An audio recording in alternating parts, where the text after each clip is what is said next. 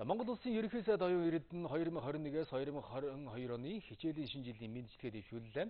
За өнөөдөр цар тахлаас шалтгаалж дэлхийн 13 улс орны 112 сая хүүхэд хичээлээ танхимаар эхлүүлж чадаагүй харамсалтай мэдээлэл байгааг ерөнхий сайд мэдчилгээнийхээ эхэнд тэмдэглэсэн байна. За харин Монгол улсын хувьд хүн амын бүрэн вакцинжуулалт 64.2%, 12-оос 17 насны хүүхдүүдийн вакцинжуулалт 75% хүрч багш сургууль хүмүүжүүлэгчид 3 дахь тунд хамрагдаснаар бид хичээлийн шинэ жилээ танхимаар эхлүүлэх боломж бүрдлээ хэмээн тэрээр хэллээ. Цар тахлын нэн хүнд үед сурч боловсрох эрхэм үүргээ хичээнгүйлэн биелүүлж буй оюутан сурагчид, багш сургууль хүмүүжүүлэгчид, боловсрал эрүүл мэндийн салбарын та бүхэн бол энэ цаг үеийн бааtruуд билээ.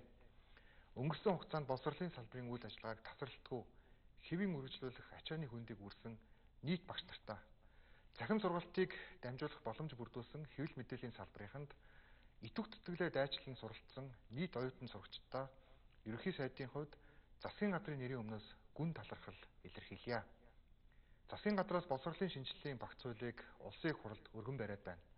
Энэ хууль батлагдсанаар ерөнхий боловсролын тогтолцоонд олон улсын үнэлгээг нэвтрүүлж Монгол хүүхэд бүр суур боловсролын 12 жилийн хөтөлбөрт бүрэн хамрагдах тогтолцоонд үе шаттай шилжих замаар хот өдөөгийн боловсролын тэгш бус байдлыг арилгана.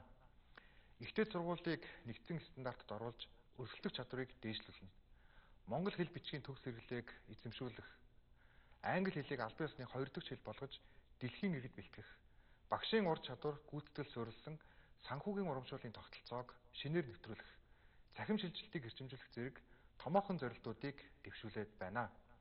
Мөн энэ хичээлийн жилээс 5 настай хүүхдийг сургуулийн өмнөх боловсролд бүрэн хамруулах, үдийн цаг үдийн хоол болгох, 3 ээлжийн хичээлийг 2 ээлжинд шилжүүлэх асуудлыг бүрэн хэрэгжүүлж дуусгалаа.